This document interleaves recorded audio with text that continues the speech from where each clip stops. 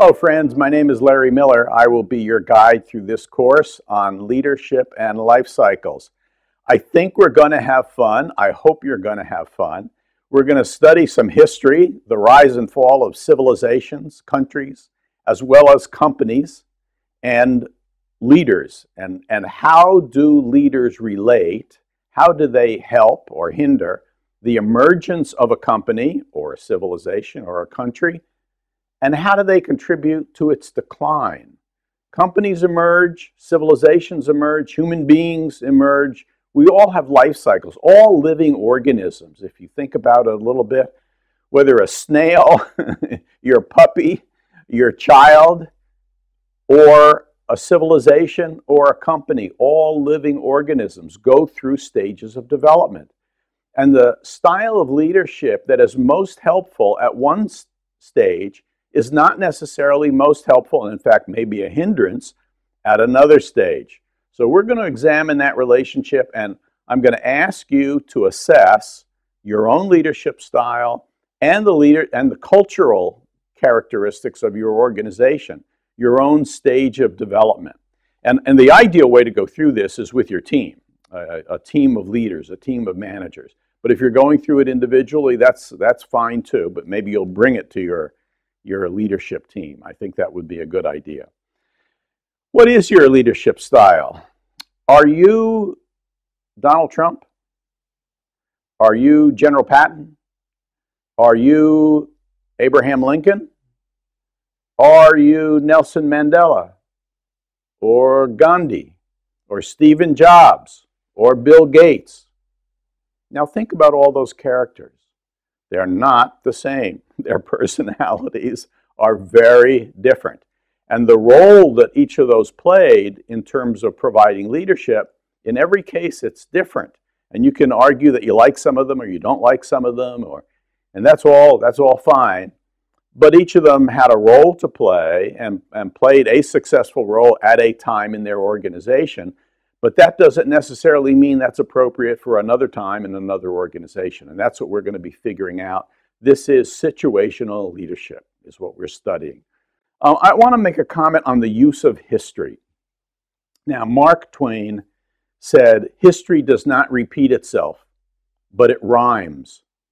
And I think that's as good a metaphor as any for understanding how we can use history. No, you will not see an exact mirror of today in prior history, or today will not be the mirror of prior history.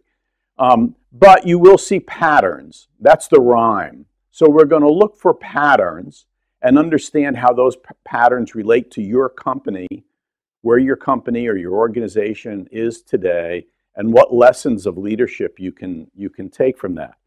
Um, th- there is a problem with using history, and and the and the problem is we, we can't possibly, I can't possibly be so smart as to be completely objective about history.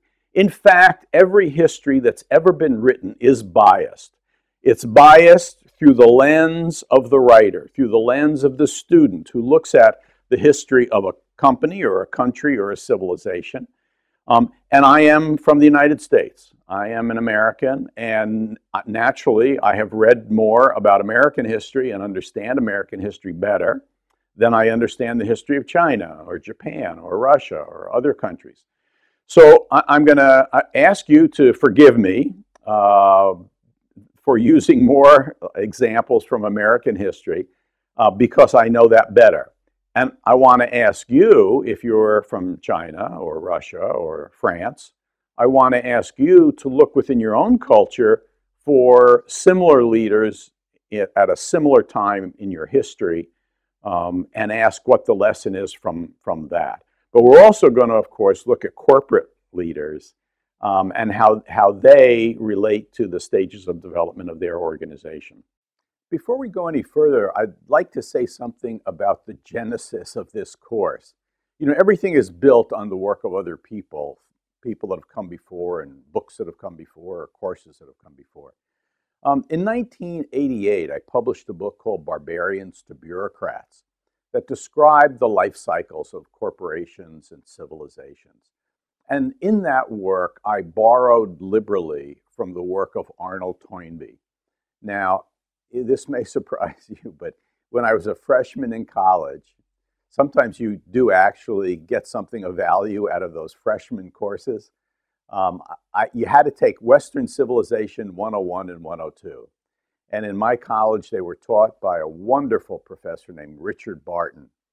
And, and Dr. Barton used Toynbee's model of the rise and fall of civilizations, and he was constantly comparing it to what was going on today. And he went through the rise and fall of Rome and Greece and the Minoans and the Greeks and the Aztecs and Incas and all these previous civilizations. Toynbee wrote a study of history, a 12 volume set that plotted the rise and fall of civilizations. And he used what he called the empirical method. And by that, he meant he lined up the civilizations and he asked, was each one a unique, completely different event, or were there patterns? And quite naturally, he found that there were patterns. There were patterns of emergence of a civilization, a process of integration, and a process of decline or disintegration. And they were somewhat similar um, through each civilization. And the causes of the emergence of a civilization were somewhat similar. For example, they never emerged out of a condition of ease, they emerged out of a condition of challenge. And he reflected on what leaders did to stimulate the growth of civilization. And what they did fundamentally was respond creatively to challenges in the environment. And I took this model and I basically uh, stole it, if you will, and applied it to corporations. And I see a similar pattern in the emergence of corporations and the decline and the personality styles, the qualities of leaders. So that's, that's where this course comes from. And if you ever are looking for a really great read, get Arnold Toynbee's work um, and study the rise and fall of civilizations. There really are great lessons. So here are the objectives of this course. Now, as I said, the big objective is to help you improve the performance of your organization and help you improve your leadership effectiveness. But more specifically, we're going to assess your leadership style, or rather, you are going to assess your leadership style as we go through the course. You're going to assess the life cycle stages, the culture of your organization, and you're going to match the leadership style with that culture.